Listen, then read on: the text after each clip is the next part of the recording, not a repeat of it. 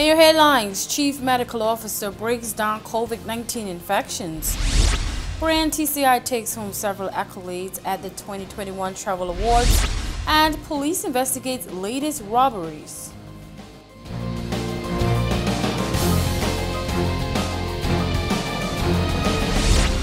Hello, Turks and Caicos. Thank you for joining us for another edition of Newswatch.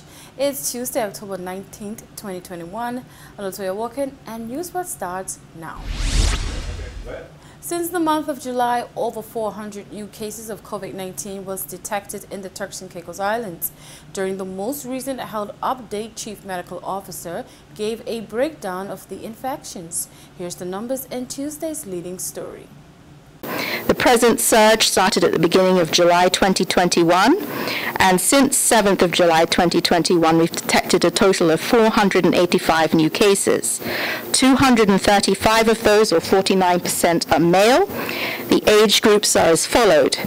In the 0 to 9 years age group, there have been 44 cases. In the 10 to 19 years age group, there have been 63 cases. For 20 to 29 years, there's been 83. 30 to 39, 99. 40 to 49 years, 97 cases. 50 to 59 years, 69 cases. 60 to 69 years, 17 cases, 70 to 79, 11 cases, and two cases in those 80 or above. 359 of the cases, or 74%, are residents. Initially, more visitors or tourists were testing positive.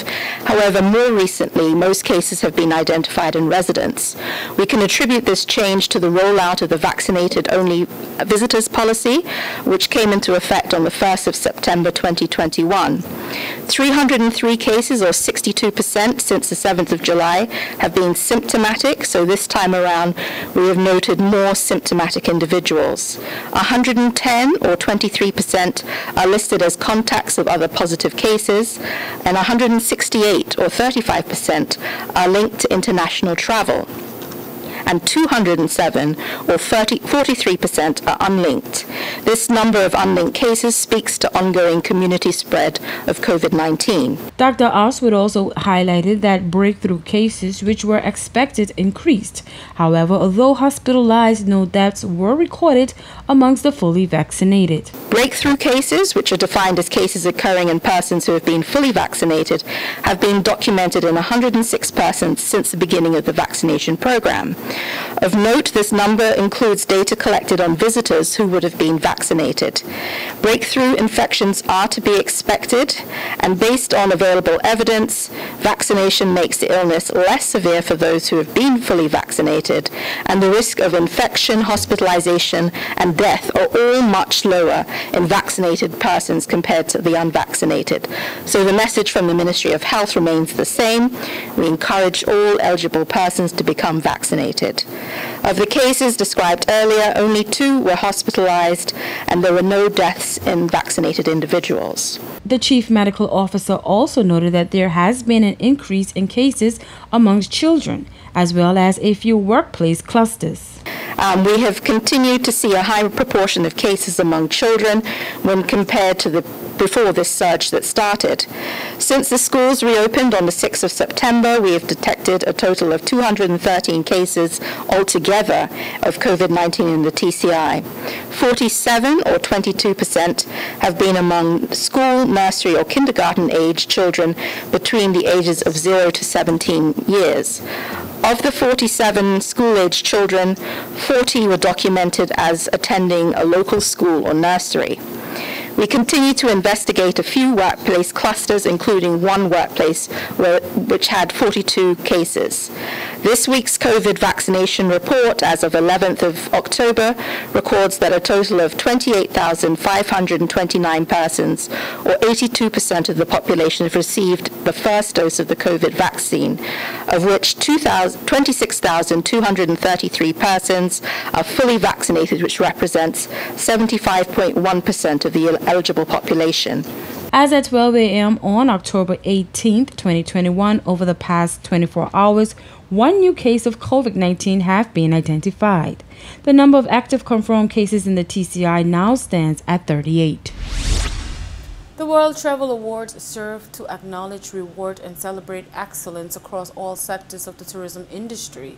The Turks and Caicos Islands has been named a winner in seven categories at the 28th Annual World Travel Awards. Caribbean's leading beach destination 2021 Turks and Caicos.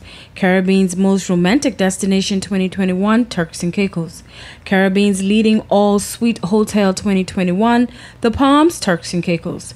Caribbean's leading all inclusive family resort 2021 Beaches Turks and Caicos. Caribbean's leading luxury island resort 2021, Seal Rock Resort Turks and Caicos. Caribbean's leading new resort 2021, the Ritz Carlton Turks and Caicos. And Caribbean's leading private island resort 2021, Pine Cay, the Meridian Club, Turks and Caicos. These are the seven categories won by brand TCI at the 28th Annual World Travel Awards. Minister of Tourism Honorable Josephine Connolly commenting on the accolades stated quote, we are thrilled to have continuously won in these categories of the World Travel Awards, as this is a testament to our continued commitment in ensuring the Turks and Caicos Islands is the leading tourism destination in the region. The Ministry of Tourism's team and industry partners all play an equally important part in promoting the destination and strengthening the brand of the destination. The awards are a cumulative effort of all tourism partners, inclusive of the Ministry of Health, who have guided us throughout this pandemic and implemented protocols that not only keep the local population safe, but have allowed the tourism industry to thrive. We are grateful to our team, partners, and all persons in the industry for the various roles they play in continuing to make our destination a leader in the industry. End quote. Director of Tourism Pamela Ewing stated, quote, My team and I are ecstatic to receive the awards for Caribbean's leading beach destination and Caribbean's most romantic destination. The Turks and Caicos Islands Tourist Board has continued to promote the destination through strategic marketing and promotion plans as both a beautiful by nature destination and as the leading destination for honeymoons and weddings. End quote. The World Travel Awards also recognized and awarded some of the best tourism related agencies within the Turks and Caicos Islands as follows. Turks and Caicos leading boutique hotel 2021 Windsor Resort, Turks and Caicos leading car rental company 2021 Avis, Turks and Caicos leading destination management company 2021 Olympia Destination Management Company, Turks and Caicos leading hotel 2021 The Palms Turks and Caicos, Turks and Caicos leading hotel suite 2021 four bedroom oceanfront penthouse at Windsor Resort. Turks and Caicos leading resort 2021 Amanyara Villas. Turks and Caicos leading tour operator 2021 Caicos Dream Tours. And Turks and Caicos leading travel agency 2021 Turks and Caicos Reservations. It's time for a quick break. More more News Watch when we return.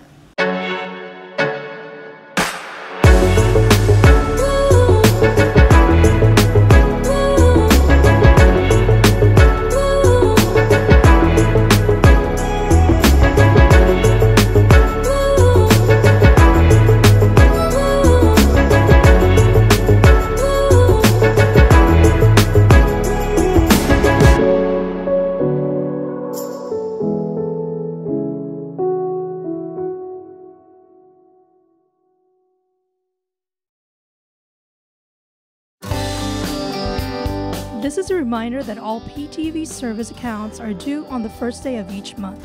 Accounts should be brought up to date by the 28th of the month to avoid disruption in service.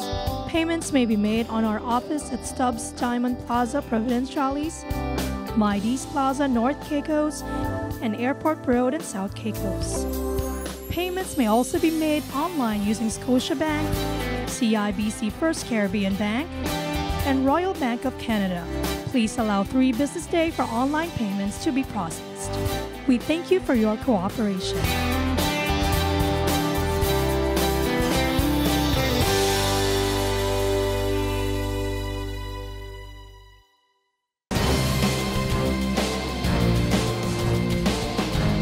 Welcome back to Newswatch. Police are looking into some reports regarding a banking institution that may have motivated last week's robberies and murder of former long-standing civil servant Alpheus Gardner. Take a look.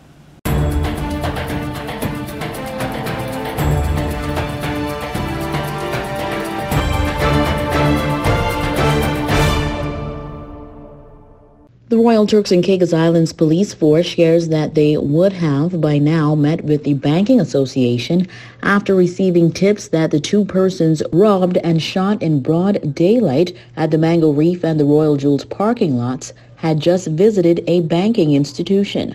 This follows on the heels of a meeting held with acting governor Her Excellency Anya Williams, high-ranking law enforcement officials, Acting Commissioner of Police Kendall Grant, Acting Deputy Commissioner Darren Williams, and Acting Assistant Commissioner of Police Willett Harvey. Shortly after the robbery and murder of Alpheus Gardner, reports began to surface that Gardner had just visited one of the banks here on Provo and was said to have withdrew a handsome amount of cash before making his way to the Royal Jewels, where public reports believe he may have been trailed due to the fact that the assailants did not target the Royal Jewels store or anyone else for that matter, going straight for Gardner, shooting him and using his white pickup as their getaway vehicle, an awfully similar account just two days earlier at the Mango Reef restaurant. However, this time, the victim survived. Investigators also visited North Caicos where just a month ago a Q father was decapitated and found in his home. That family continues their plea for answers. We'll take a quick break. When we come back, your weather forecast. This is a reminder that all PTV service accounts are due on the first day of each month. Accounts should be brought up to date by the 28th of the month to avoid disruption in service. Payments may be made on our office at Stubbs Diamond Plaza, Providence Providenciales, Mides Plaza, North Caicos, and Airport Road in South Caicos. Payments may also be made online using Scotiabank, CIBC First Caribbean Bank, and Royal Bank of Canada. Please allow three business days for online payments to be processed. We thank you for your cooperation.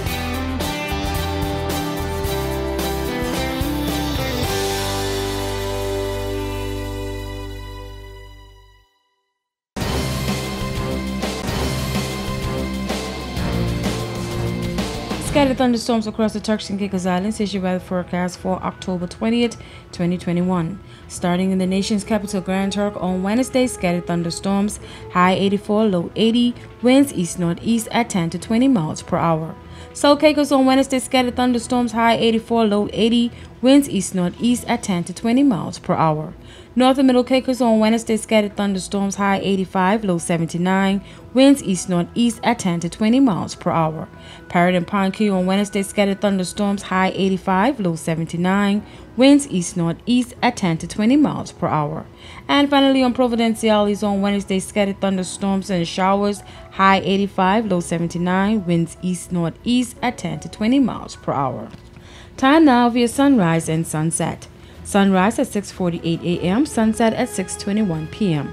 And for your high tides and low tides, high tides 8:12 a.m., 8:30 p.m. For your low tides 1:56 a.m., 2:29 p.m. Time now for your hurricane outlook. For the North Atlantic Caribbean Sea and the Gulf of Mexico, tropical cyclone formation is not expected during the next 5 days. And that's it for your weather forecast and hurricane outlook. We'll be right back with more Newswatch. Here at People's Television, we're more than just your leading news and entertainment services. We are spreading the gospel.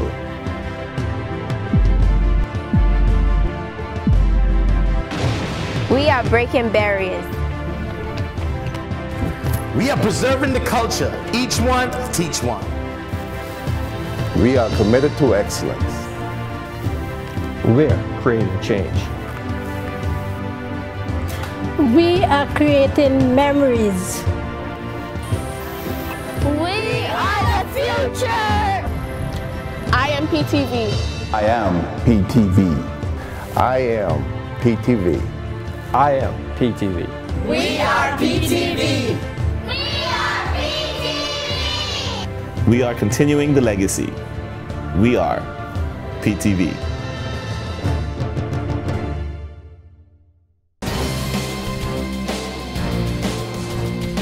Welcome back to Newswatch. Two-time sex offender Steve Santana will finally be held accountable for the heinous acts carried out on his innocent victims.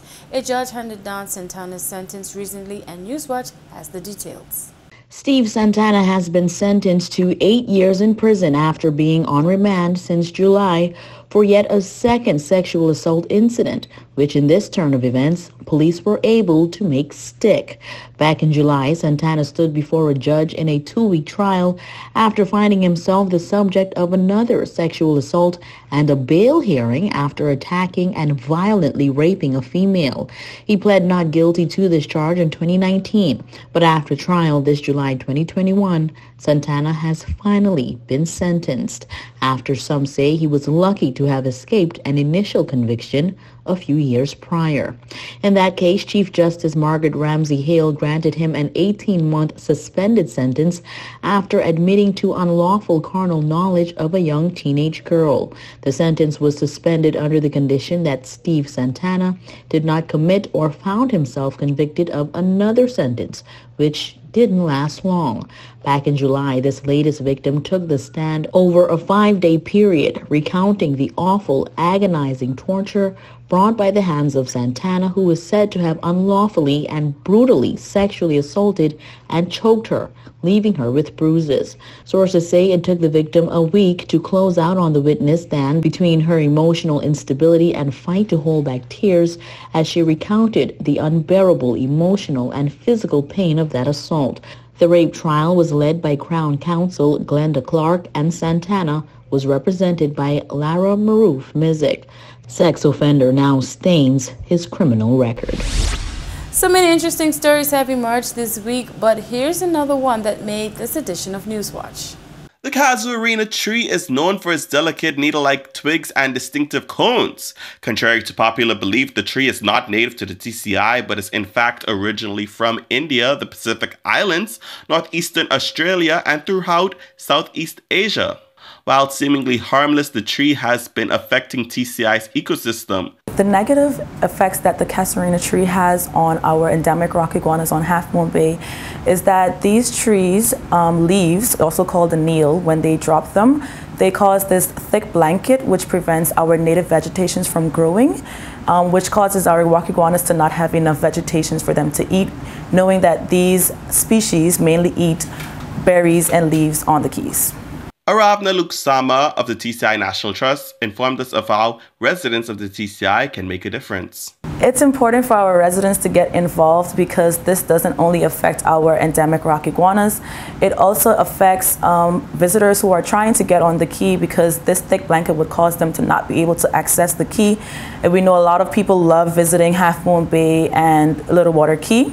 She further stated that over $2 million has been spent over the course of 10 years by partners of the National Trust to protect our native rock iguanas that play an important part in the TCI's tourism industry. So I think that our residents should get more involved in our ongoing projects um, to protect our endemic rock iguanas, even if it's to take down casuarina trees. Not that all the trees are bad. One or two is okay, but when we have a bunch of them on the key, this causes a problem for our endemic rock iguanas.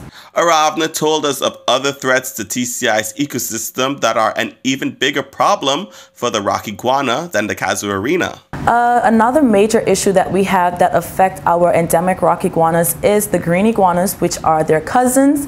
Um, our rock iguanas are the Cyclura carinata, which is the scientific name for them, whereas the green iguanas, um, their scientific name is Iguana iguana.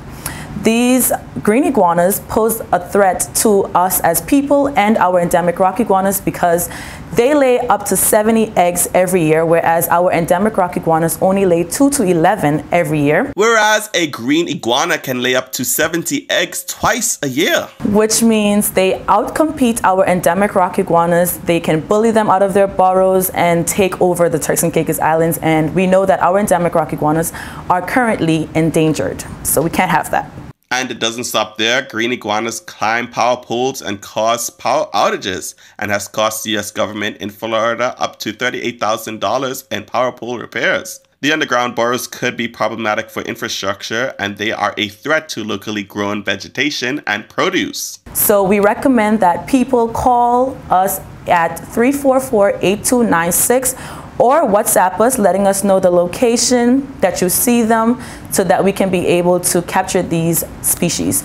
We also don't recommend that people do this themselves because they're able to bite you and once they see that people are after them, they'll become shy and it causes us um, a bigger problem to catch them. Reporting for PTV Newswatch, I'm Ali Harvey. Well, that wraps it up for today's newscast. Mr. Story, you can always visit www.ptvatci.com or join us every weekday at 6.30 p.m. for the real news. I'm Latoya Watkins signing out until next time.